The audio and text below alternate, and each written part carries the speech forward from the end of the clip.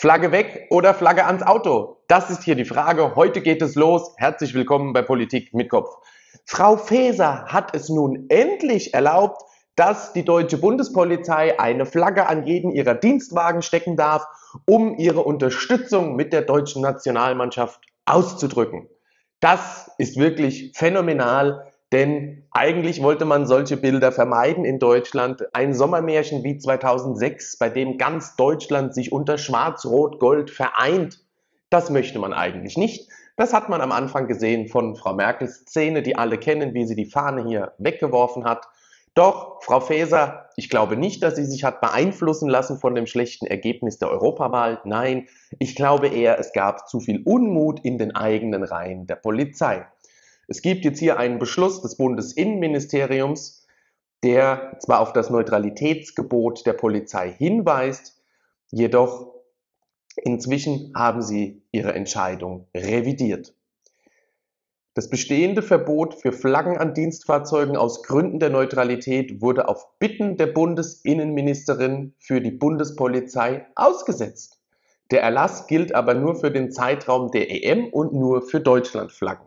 Das ist gut, dass es nur für Deutschlandflaggen gilt. Und ja, wir beschränken das auf die EM. Die deutschen Polizeiautos, sie müssen nicht rund um die Uhr mit einer deutschen Fahne herumfahren. Wenn wir das wollen, dann könnten wir einfach die Lackierung der Autos ändern und müssen keine Fahne anbringen. Das Ganze gilt selbstverständlich nur, wenn es weder einsatztaktische Gründe noch Regelungen der Straßenverkehrsordnung gibt, die dem entgegenstehen. Das Bundesinnenministerium hat jetzt sogar gegenüber einem Presseorgan hier erklärt, und zwar, warum sie diesen Sinneswandel gemacht haben. Unsere Bundespolizei steht für unser modernes Deutschland. Die Polizeibeamtinnen und Polizeibeamten werden alles für die Sicherheit der Europameisterschaft in Deutschland tun, im Einsatz für die Bürgerinnen und Bürger in unserem Land und für Millionen Gäste und Fans. Und unsere Beamtinnen und Beamte stehen hinter unserem deutschen Team. Was das jetzt für eine Begründung gewesen sein soll, muss sich Frau Faeser selbst überlegen. Aber es geht heute los. Ja, heute hat auch Olaf Scholz Geburtstag. Er wird 66. Ob er das vielleicht vergessen hat, wissen wir alle nicht. Aber er wird wohl ein paar Geschenke bekommen. Ich würde ihm das Geschenk überreichen, das er geben kann, das er einzupacken hat. Und vielleicht ist ja nach der EM auch endlich Schluss mit Olaf Scholz. Und damit wir hier alle ein bisschen in Stimmung kommen, kennt ihr denn eigentlich noch unseren Schlachtruf von 2006. Kennt ihr den noch? Schland, Schland, Schland, Schland. Ha. Habt ihr wohl schon vergessen, ja? Schland, oh Schland. Dann gibt es noch Folgendes. Deutschland im Sommer 2006.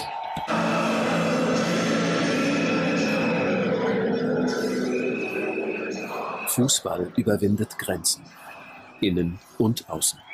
Ein Meer von Deutschland fahren an der Fanmeile in Berlin. Ich bin gespannt auf die Bilder. Es gibt hier inzwischen Zahlen. 20 Prozent der Deutschen werden nicht auf Public Viewing Veranstaltungen gehen aus Angst vor Terroranschlägen. Also der Islamismus, er erfüllt hier seinen Zweck und treibt die Leute in Angst und Schrecken nach Hause. Wir haben selbstverständlich aber noch einen großen Wunsch, einen wirklich, wirklich großen, großen Wunsch. Singt im Stadion so laut, dass es jeder hört, so wie damals.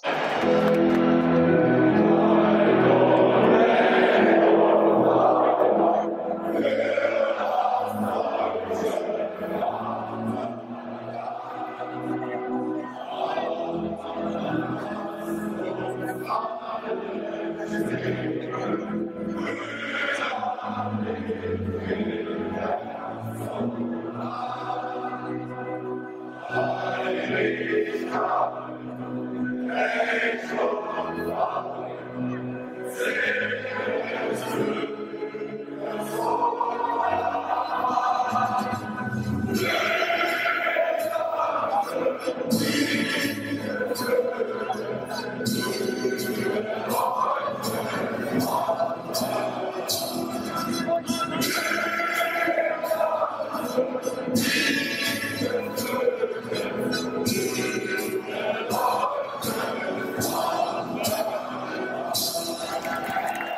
Das war das Olympiastadion in Berlin. Schlechte Qualität der Aufnahme, ich weiß.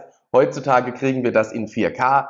Ich bin gespannt, ob sie es hinkriegen heute Abend in München, ob sie denn überhaupt gegen die Schotten bestehen können, die deutsche Nationalmannschaft.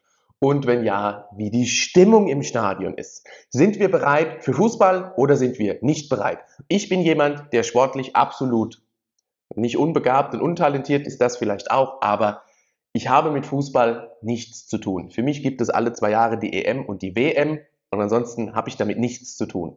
Deswegen, ich bin kein Experte, würde ich auch nie behaupten, dass ich da Experte bin. Ich verstehe die Abseitsregel und so ein paar weitere Regeln, das muss genügen. Ich weiß auf jeden Fall, dass es für die Stimmung bei uns im Land gut wäre, wenn die Mannschaft weit kommt. Im Gegensatz für die Regierenden wäre es gut oder für uns wäre es gut, wenn wir in der Vorrunde rausfliegen, weil dann können wir mehr auf Olaf und Nancy rumhacken, bis sie endlich ihre Köfferchen packen und gehen. Am Ende hoffen wir aber alle vor allem, dass wir friedliche Spiele haben, dass wir uns alle gegenseitig nicht die Köpfe einschlagen und dass wir nicht vergessen, dass wir ein Heimspiel haben, wie Frau Faeser sagte. Wir haben wirklich Heimspiel in Deutschland 580 zusätzliche Linienflüge, 180 zusätzliche Privatflüge. Wir kontrollieren jetzt den siebten Tag in Folge alle Grenzen und es geht der Bundespolizei ordentlich Beifang ins Netz. Dazu machen wir aber mal ein anderes Video. Ich bin gespannt auf deine Meinung. Freust du dich auf Fußball oder bist du froh, wenn das Ganze vorbei ist? Was hältst du von dem Flaggenbeschluss des Bundesinnenministeriums, dass jetzt die deutschen Polizisten endlich wieder die deutsche Fahne schwenken dürfen? Alleine, dass sie es nicht dürfen, ist ja schon peinlich und grotesk. Aber schreib mir mal einen Kommentar, wie du das siehst. Und ich beende das Ganze hier. Ich lasse das mit der Nationalhymne hier nochmal auslaufen. Und damit sage ich bis bald. Abonniere den Kanal, lass ein Abo da und abonniere auch meinen Telegram-Kanal. Bis bald.